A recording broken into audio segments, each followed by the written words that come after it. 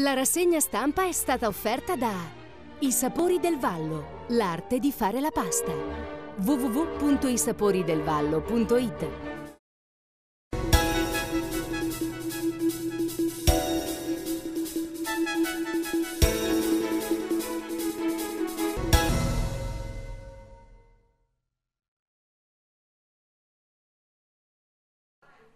Buongiorno, ben ritrovati alla rassegna stampa di questo sabato 13 maggio, una rassegna stampa che apriamo leggendo le prime pagine dei quotidiani oggi in edicola. Lo facciamo partendo dal mattino di Napoli, in eh, primo piano la sentenza sul disastro della Concordia, la Cassazione conferma i 16 anni di carcere al capitano Schettino. Schettino in cella, pago per tutti, l'ex comandante a Re mi consegno perché credo nella giustizia.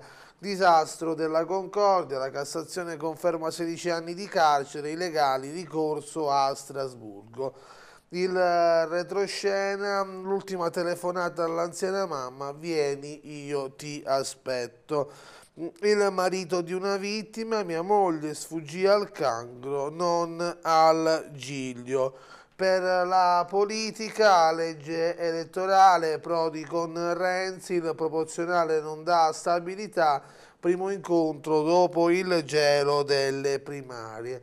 Scoppia il caso dei Deborah Serracchiani, profughi e stupri, critiche peggiori dello scivolone, il caso Lorenzin, vaccini e scuola, il primo diritto spetta alla uh, salute. Mm, poi ancora l'evento Fatima, i tre segnali del Papa, Francesco proclama santi i uh, pastorelli, mentre per quanto riguarda il, uh, lo scafarto avvisai i PM che gli 007 non c'erano. Caso Woodcock, le nuove rilevazioni eh, rivelazioni dei carabinieri, Tiziano Renzi intercettato dai magistrati di Napoli prima di essere indagato a Roma.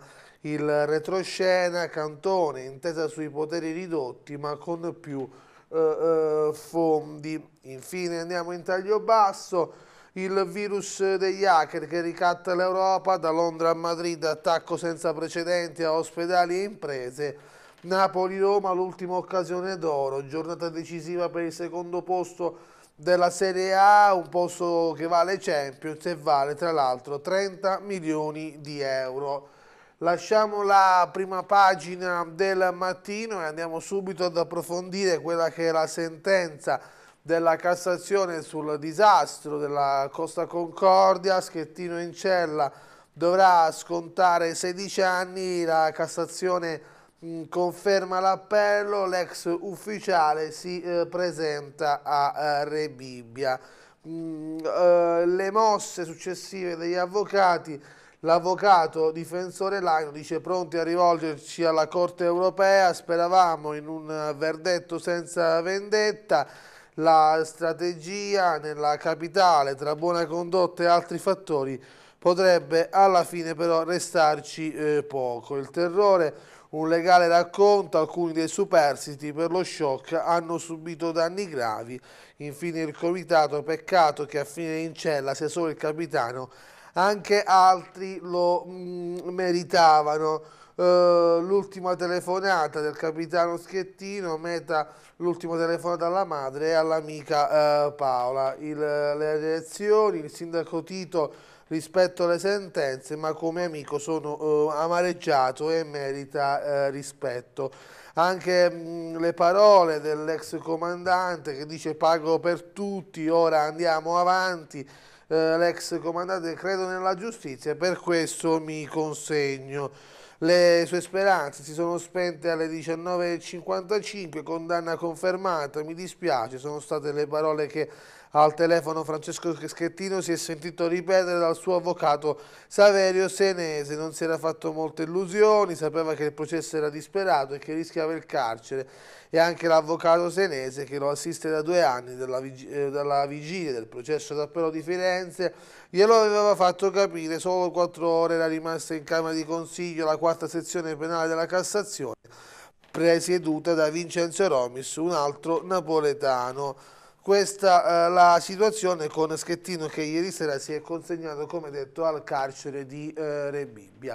Torniamo a leggere le nostre prime pagine andando sulle cronache del Salernitano, in eh, primo piano la guerra dei teatri, vigili sotto accusa, la compagnia Luna Rossa di mh, mm, Pino eh, Donnabella sfrattata dal comune per far posto a quella di eh, la Monica del mirino, un verbale dei caschi bianchi, un protocollo di consegna che non risulta al comando. Intanto la preside della scuola Costa, viste le polemiche, rivuole indietro i locali. A centropagina leggiamo Schettino affonda in Cassazione, 16 anni, si è costituito a Re Bibbia, naufragio della Concordia, il comandante già in carcere. Poi ancora provincia verso il fallimento, a rischio il posto dei dipendenti, CGL stato di agitazione, a rischio strade e scuole, pressing dei parlamentari in commissione. Castel San Giorgio, le ultime trattative per Salvati e eh, la eh, Lanzara, mentre mh, mm, per quanto riguarda il caso di Angela Celentano, una nuova delusione, sfumata la pista eh, in Messico, Celeste non esiste. Sabri, assolti l'ex sindaco D'Agostino e Pierino, scagionati anche i volontari. Per lo sport tra Salernitana e Avellino, ecco la nuova Lega del Sud, Granata senza obiettivi, Bollini mette le mani avanti, agli Irpini basta un pareggio per mettersi al sicuro. Ingenti misure di sicurezza nel derby quest'oggi in programma allo stadio Arechi di Salerno. Lasciamo le pagine di Le Cronache per andare all'apertura della città eh, di Salerno, la città che apre con la eh, sanità, no al morbilo, si alza la diga dell'ASL, eh, la base vaccinale nel Salernitano è del 93%, ma si stanno individuando i residenti tra le complicanze, le ehm, panancefalite eh, sclerosante, il caso Lorenzin e eh, le polemiche. Poi l'attacco hacker mondiale, c'è un virus che taglieggia, computer bloccati e liberati dietro riscatto. Poi la Cassazione, giusti 16 anni a Schettino, il comandante da ieri sera in cella. Poi, poi ancora la provincia sull'astrico, chiudiamo le scuole, dipendenti in lotta, avvocati mm, in trincea, soli e mal pagati, oggi arriva il corteo a Roma. Strategie anticrisi, l'Italia ora accelera sul fisco per il digitale, contatori di traffico, Padoan ha parlato al G7 di Bari in conclusione di inclusione sociale fondamentale per la crescita. Poi ancora Macron, strategia franco-tedesca dannosa per l'Italia, qui anche un mm, focus sulla politica internazionale. Eh, in taglio basso, infine, Antonietta, la vela oltre il buio, cieca da anni, gareggerà il 16 tra Masuccio e Marina D'Arechi, la campionessa e i suoi occhi del cuore. La fotonotizia infine dedicata alla Salernitana nel derby conta solo vincere, Gran Salernitana Avellino, stadio blindato per il derby in programma oggi pomeriggio. Andiamo avanti con le prime pagine, ci resta da leggere eh, la pagina salernitana del mattino, si apre con la provincia in rosso, la regione paga, il governatore De Luca contro Roma, scuole e strade, copriremo le spese, l'allarme del presidente Canfora dopo i nuovi tagli, patto tra parlamentari, Fratelli d'Italia attacca, iniziativa eh, ridicola. L'industria, fonderie, operai in bilico, la CIG alla fine, poi ancora università, Polo scientifico, sei dipartimenti nella top del Muri, il Capus supera le valutazioni ministeriali. Tommasetti dice sfida vinta, noi non ci eh, fermiamo. Per la cronaca, l'offesa del prof all'alunno trans, via quegli abiti, non è carnevale.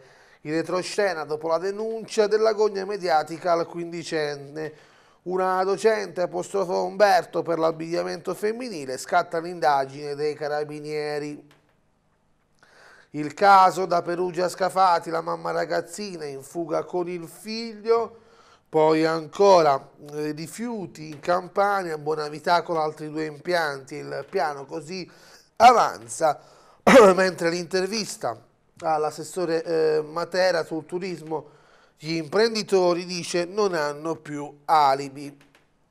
Infine la pagina sportiva con la fotonotizia dedicata al derby, Salernitana salva ma il derby va onorato, carica Bollini, chiudiamo in bellezza il commento di Nando Di Francesco, la partita contro l'Avellino a questo punto diventa la gara della uh, stagione. Questa era la prima pagina del mattino dedicata a Salerno e noi con questa prima pagina chiudiamo la prima parte della nostra rassegna stampa, ci vediamo dopo la pubblicità per la seconda parte. Seconda parte dell'edizione di questa rassegna stampa di sabato 13 maggio, una seconda parte che come sempre ci porta a leggere le pagine interne dei quotidiani oggi in edicola.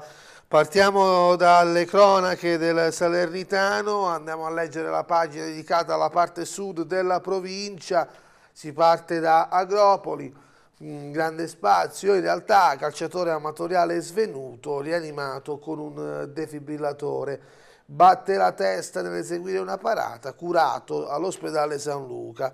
Si sono vissuti momenti di paura e tensione nell'incontro amatoriale di calcetto, un uomo che svolgeva il portiere in una delle due squadre, nell'esecuzione di un intervento di parata, batteva violentemente il capo sul terreno e perdeva i sensi. Immediato il soccorso, il numero uno della squadra veniva rianimato con l'aiuto di un defibrillatore, intanto allertato il 118 che poi hanno portato l'uomo presso l'ospedale San Luca di Vallo della Lucania. Ancora Agropoli, eh, condannati fratelli Iacomino, la gelosia per una donna armò la mano dei due fratelli originari del napoletano, condannati a 10 anni e 4 mesi per Gaetano, e 9 per il fratello Ciro, avevano sparato ad un commerciante rivale, Raffaele Carione.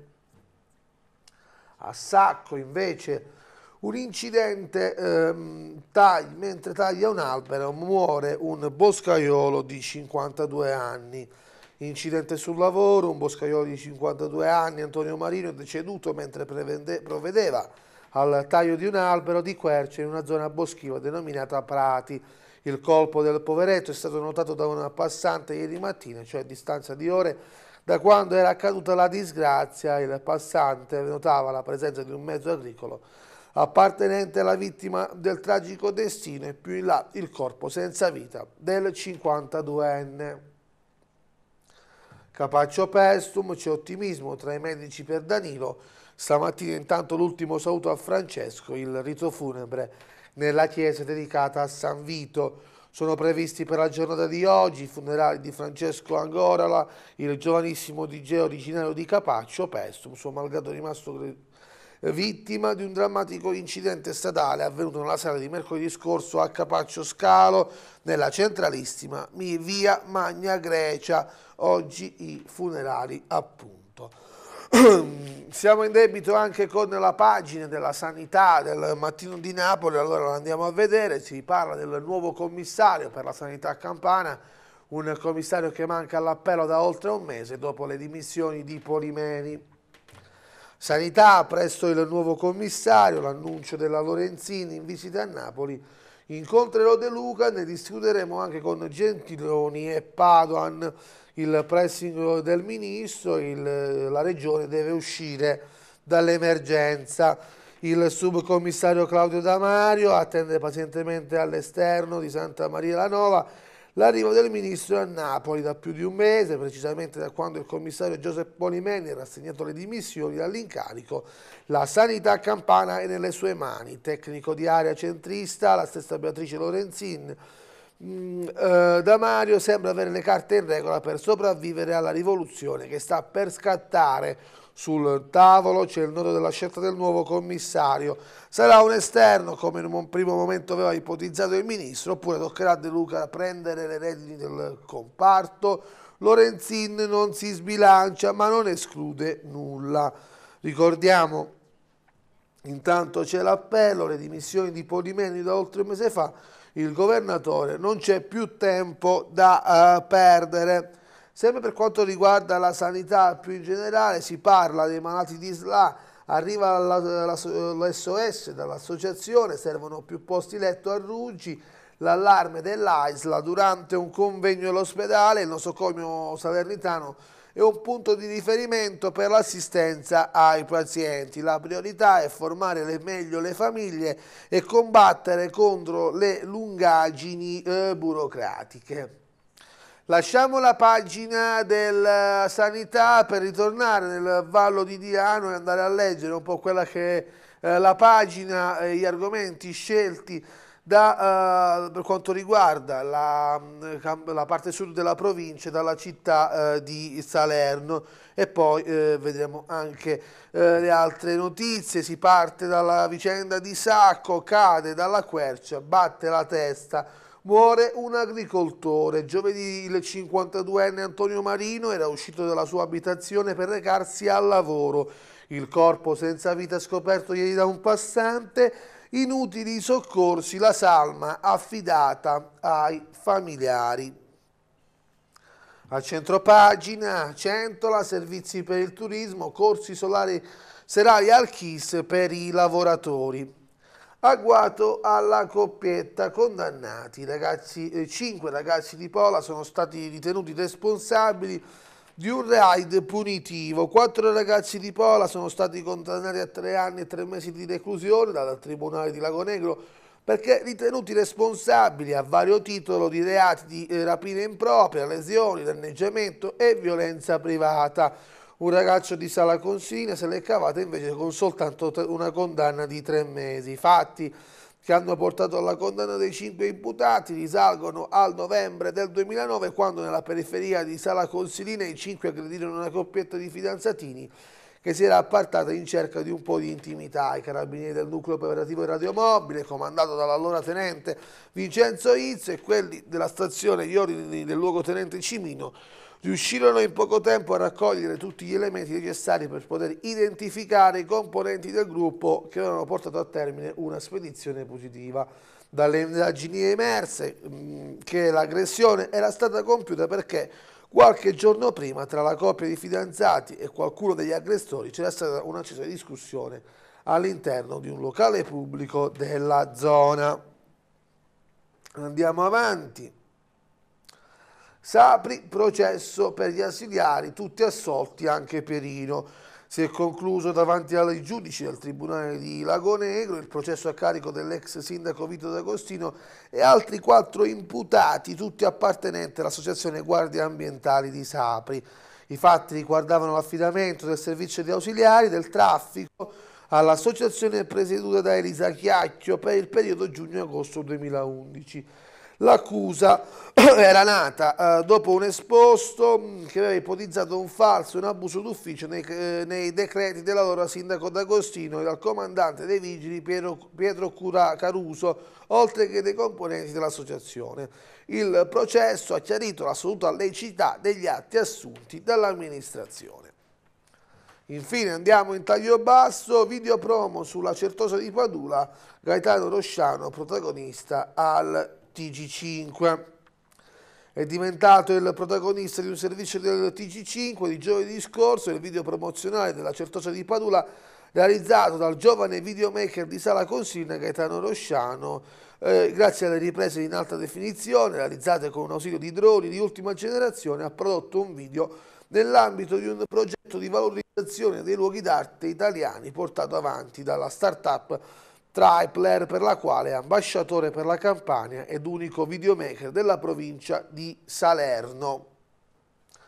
Questa era la cronaca, ora lo sport, partiamo dalla Salernitana, è il giorno del derby, regaliamo una gioia ai tifosi. Salernitana senza più motivi per quanto riguarda il campionato di Serie B, ora cerca punti nel derby per regalare un sorriso ai propri supporters. Gli Ultras prorano il gruppo, nella rifinitura Bollini carica la Salernitana e s'affida al Tridente. È la ventunesima sfida, ventiduesima sfida, un anno fa, ricordiamo, fu il Gabbionetta Show l'attaccante brasiliano realizzò una doppietta nella gara inaugurale alla Rechi. Tre punti e chiudiamo il discorso. Novellino non si accontenta, l'Asic terzino in avanti, ballottaggio Eusepi e Verdi. Il tecnico dell'Avellino cerca tre punti per archiviare la pratica salvezza e non portarsi così all'ultima eh, giornata. Granata, niente scherzi, vincere e programmare il doppio ex tosto il cavalluccio marino del cuore non nasconde il suo sostegno. I playoff erano alla portata, ora c'è da chiudere in bellezza e pensare al futuro. La penultima giornata vede gli occhi della B puntati sul Vigorito di Benevento che prova a riaprire il discorso promozione col Frosinone. C'è il rischio infatti che i playoff non vengano giocati in quanto, e lo andiamo a vedere in questo momento, la differenza tra la terza classificata, attualmente il Frosinone, e il Perugia quarto è di oltre 9 punti e per quanto ci dice il, regolamento della Serie B in tal caso i playoff non si giocano. Ultime due giornate al termine, Salernitana che detto, come detto gioca oggi contro l'Avellino prima della trasferta di Perugia della prossima settimana. Lasciamo la Salernitana per parlare rapidamente anche del Napoli che eh, va alla caccia del secondo eh, posto. Fuori i secondi, questo è il titolo della pagina sportiva del mattino. Napoli e Roma, che brividi, in gioco 30 eh, milioni. Eh, I timori, sei volte nelle ultime sette anni, le italiane eliminate dai playoff di agosto, eh, i diritti e il market pool legato al mercato eh, televisivo a fare la eh, differenza. Andiamo a leggere un po' di quelle che sono le mm, opinioni, la Champions Diretta consente di pianificare acquisti e preparazione estiva. Uh, un turno decisivo per Napoli e Roma, visto che il Napoli giocherà domani a Torino contro il Torino, mentre la Roma ospiterà la Juventus e quindi il Napoli sogna il sorpasso. Parlando di italiani all'estero, c'è la grande vittoria di Antonio Conte che trionfa in Premier League eh, con il suo Chelsea, la vittoria 1-0 ieri sera contro il West Bromwich Albion, firmata da Bashuai, eh, regala al tecnico italiano la Premier con due giornate di anticipo. Tornando al Napoli, è l'ultima chiamata Champions, Sarri si affida a Giorginio e Allan, a Torino gli unici dubbi che riguardano i centrocampisti, in difesa torna Koulibaly dopo la squalifica. Per questa trasferta l'allenatore predica prudenza e attenzione, difficile organizzare la mh, visita del tecnico alla lapide degli invincibili. Sul campo dell'Olimpico servono muscoli per fronteggiare i mediani Granata e quindi c'è ehm, il vantaggio di Allan su Zilischi. Infine l'ultima stoccata di De Laurentiis e Higuain per la Juventus non sei fondamentale. Ha vinto anche senza di lui che eh, riteneva scarsi Callegon e gli altri bianconeri sono stati poco etici. Queste paro le parole di De Laurentiis su Higuain. Ebbene, noi con lo sport chiudiamo questa edizione della rassegna stampa. Vi ricordo che i news approfondimenti sono disponibili sul nostro sito web unotvweb.it, mentre l'appuntamento con l'informazione torna alle 13.45. Io vi ringrazio per l'attenzione e vi auguro buon proseguimento di giornata.